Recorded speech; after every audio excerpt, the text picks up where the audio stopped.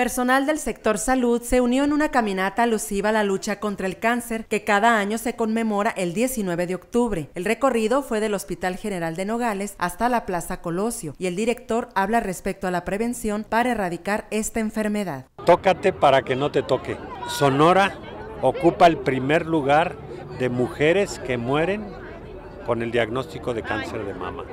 Entonces, tenemos que ser eh, muy conscientes, trabajar en esto y por eso hay mucha gente interesada. Gracias a un a una mamografía a tiempo, ya no podemos decir a una exploración, una mamografía porque la tenemos a, a la mano de todas las mujeres que quieran.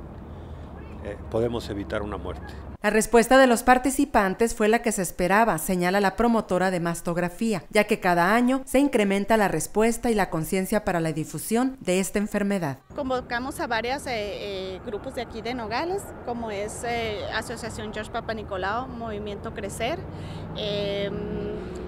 hubo algunas eh, oportunidades. Muy bien la respuesta, fue muy favorable, creo que este año nos favorecieron más con su asistencia, vi yo más gente participando, gente más interesada en este tema, estuvo muy bien, muy, muy agradecida.